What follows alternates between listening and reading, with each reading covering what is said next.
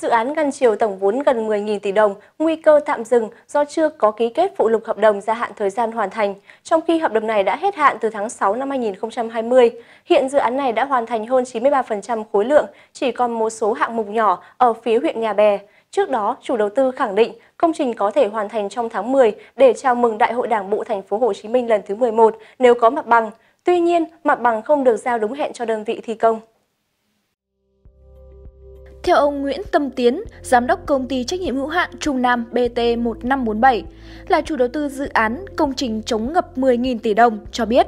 với tình hình hiện nay, công ty khó có thể cầm cự tối đa 2 tháng nữa. Nếu khúc mắc không được giải quyết, dự án bị dừng sẽ đem lại hệ lụy rất lớn. Theo ông Tiến, hợp đồng đầu tiên đến tháng 6 năm 2019 hết hạn, sau đó dự án được gia hạn đến tháng 6 năm 2020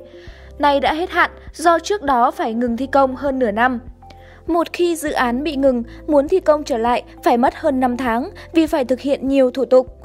Đại diện chủ đầu tư cũng cho biết, tổ đàm phán hợp đồng của Ủy ban dân thành phố Hồ Chí Minh đã thống nhất một số nội dung của phụ lục hợp đồng BT gia hạn thời gian thực hiện dự án từ ngày 24 tháng 9. Tuy nhiên, cơ quan được giao ký phụ lục hợp đồng là Sở Kế hoạch và Đầu tư chưa đồng ý. Đến nay, nhà đầu tư chưa nhận được văn bản chính thức từ Ủy ban dân thành phố với công trình này.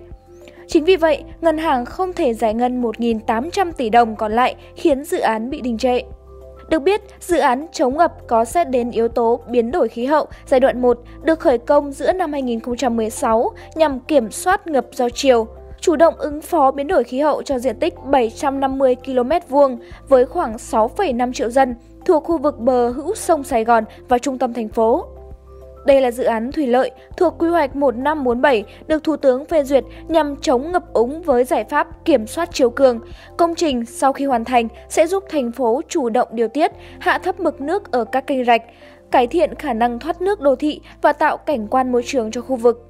Dự án có tổng mức đầu tư gần 10.000 tỷ đồng với quy mô 6 cống ngăn chiều lớn là Bến Nghé, Tân Thuận, Phú Xuân, Mương Chuối, Cây Khô, Phú Định và 7,8 km đê kè ven sông Sài Gòn từ Vam Thuật đến sông Kinh với các cống nhỏ khẩu độ dưới 10 m, địa điểm xây dựng thuộc quận 1, 4, 7, 8 và huyện Nhà Bè và Bình Chánh.